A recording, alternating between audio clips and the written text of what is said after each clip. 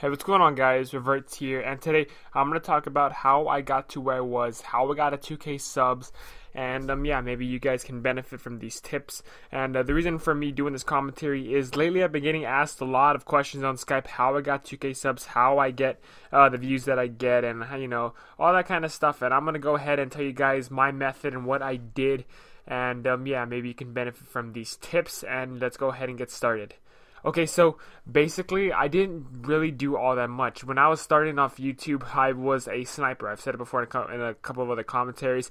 I'd make montages, I'd make episodes, and uh, yeah, I, I, thoroughly enjoyed it. I got some people to play with, you know, in clans and stuff like that. It was, it was really, really nice, but I wanted more of an audience. I wanted to be able to interact with my subscribers and uh, my viewers. So I started to switch to commentaries. I had my friend Shady Edits, he was doing commentaries too and I was like, you know, maybe maybe I could go ahead and try this. I'll see how it goes. And and uh, my commentaries honestly weren't that good from the start. I didn't have any recording device. I used pictures instead of uh, gameplay in the background. I still have a few of those up. You can go check those out if you want to. I doubt you will though, because they're so bad. But um, I would do that instead, and basically um, that's kind of that's kind of what I what I started out.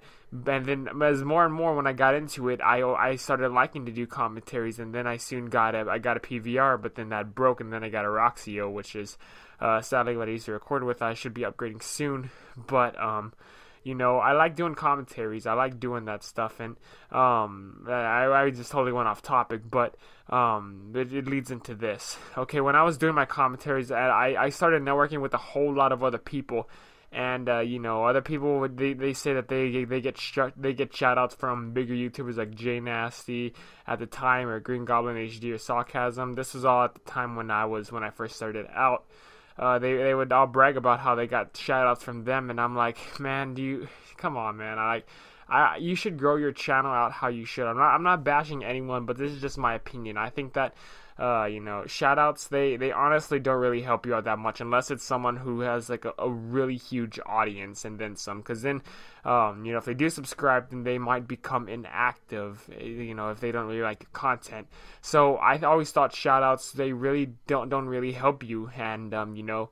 I grew my channel solely off of my myself. I grew my channel so, solely off of the work that I do and the commentaries that I provide. And uh, you know, I think you guys are liking it. I'm getting about 10 subs a day, which is really, really awesome. And um, and so yeah, you know, I, I don't really like to do shout outs. I don't really like to ask people for shout outs. I don't think they really help you out a lot. So uh, one reason why how I got a 2K sub so fast is I just did my own thing. I networked a lot.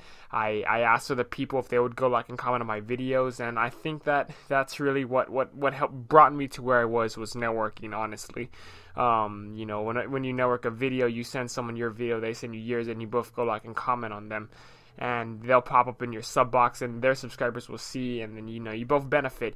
You can you can network like that. You can sub for, you can, well i really i wouldn't recommend sub for sub. You can box for box you know that might help. Um you know there's just so many other ways than just from from getting like shout outs from people that that that basically um, that that can help you out more than just from a shout out. I mean, I just I just slowly networked, and that that's how I got the 2K subs. And I think you, if you all are smaller commentators out there, if you're just looking to break into the commentating uh, business career, whatever you want to call it, um, if you if you want, you you should start networking. Honestly, that that's my main important tip that I can give you guys is network, network, network. That's all I did, and uh, you know, honestly, you guys should too if uh, you if you're a smaller commentator. And so I hope you guys did enjoy the video. Please leave a like if you did and comment down below if you have any questions. I'll answer them all in the comments.